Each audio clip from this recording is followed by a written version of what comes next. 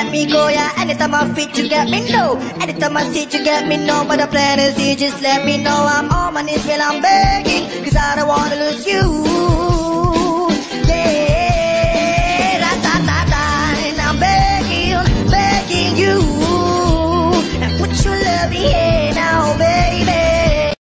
Nah, ini bahannya sudah kusiapkan. Ada tepung terigu, kemudian ada susu full cream, air hangat, gula pasir, susu kental manis, margarin yang sudah dilelehkan dan kemudian ada telur, garam, SP atau TBM dan vanila dan tentu saja Fermipan. Oke, kita langsung aja eksekusi dan ikuti step by stepnya. Stay tune. Oke, di sini sudah aku siapkan air hangat. Kemudian aku beri Fermipan sebanyak 3 gram dan sisanya aku simpan di dalam lemari es biar bisa dipergunakan kembali. Kemudian kita masukkan gula pasir sebanyak 3 sendok teh atau 1 sendok makan. Kemudian kita aduk.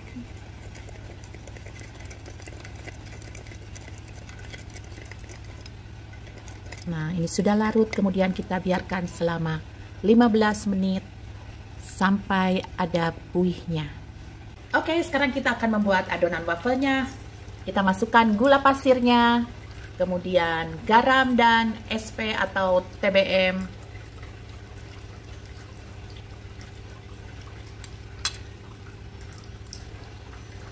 dan kita masukkan telurnya satu persatu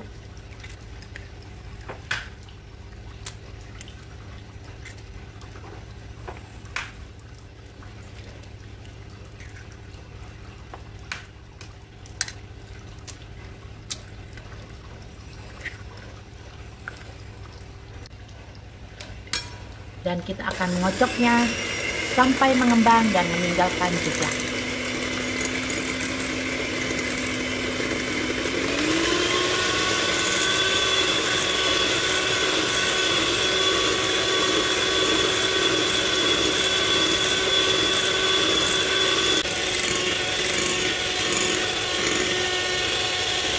Nah, ini sudah mengembang dan meninggalkan jejak. Kemudian kita matikan mixernya. Kemudian kita masukkan air fermentasi dari fermipannya.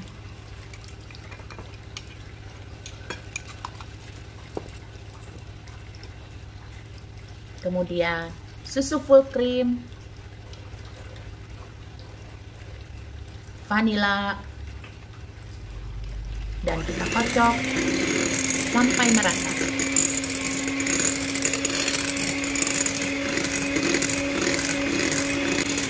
Kemudian kita matikan terlebih dahulu. Dan kita masukkan tepung terigunya. Oke, kita masukkan sambil mengocok.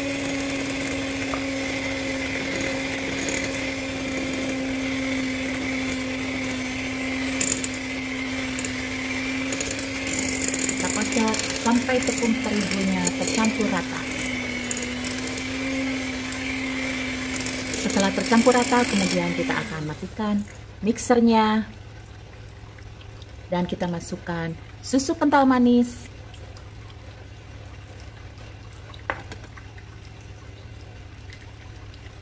Margarin yang dilelehkan. Kita aduk kembali dengan speed yang terendah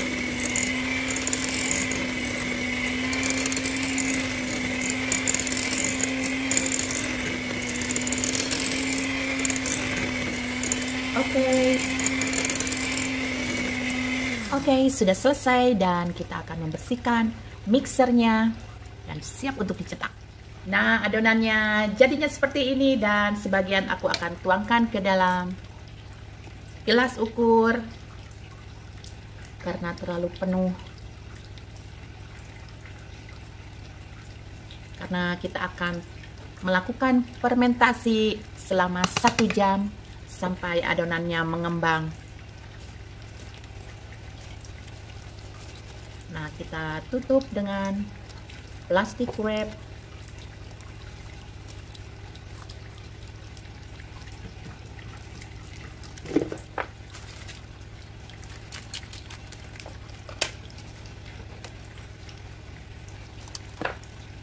dan kita biarkan selama satu jam.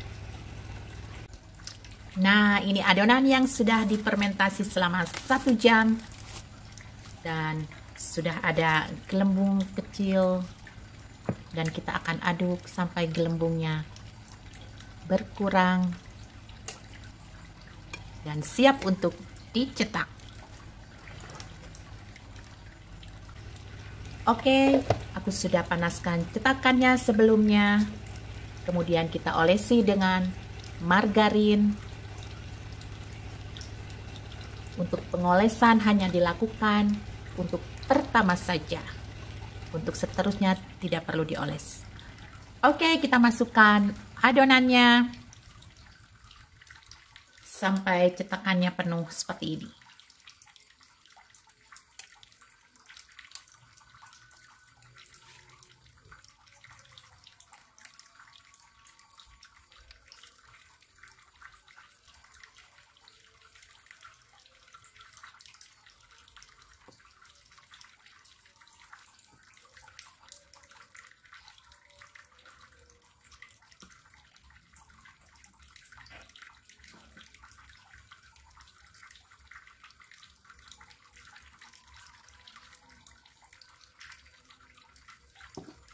Dan kemudian kita tutup dan kita tunggu sampai matang.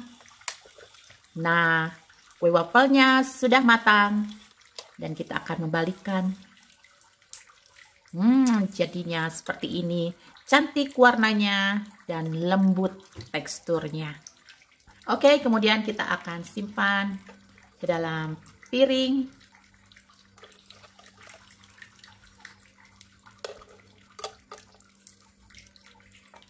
Nah, lihat nih, teksturnya sangat lembut.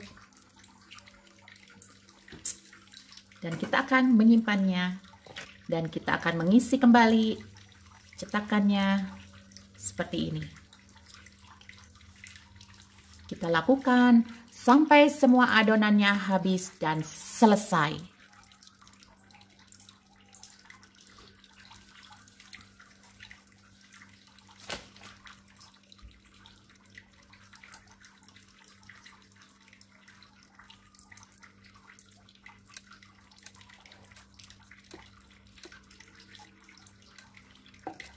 Oke, kita tutup kembali dan kita akan menunggunya sampai matang dan tentu saja sampai selesai.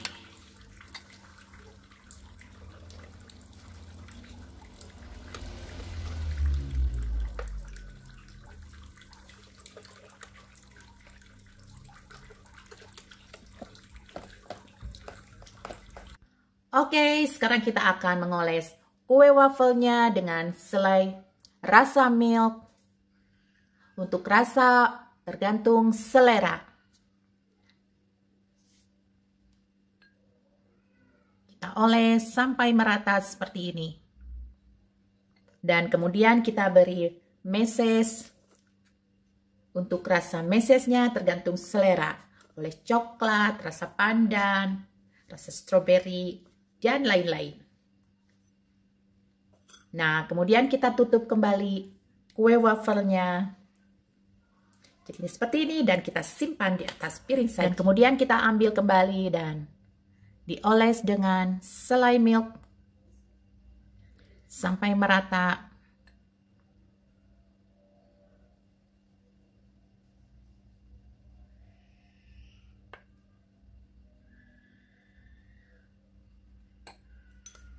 Kemudian kita beri meses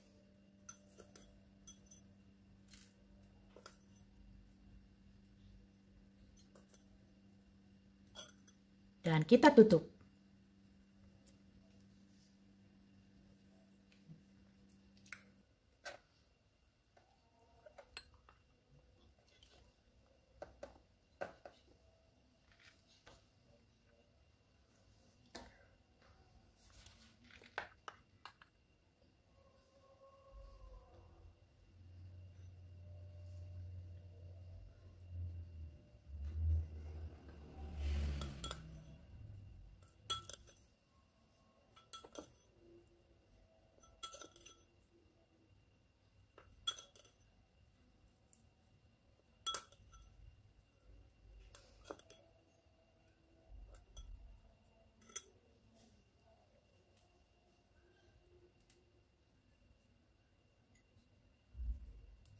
Tada!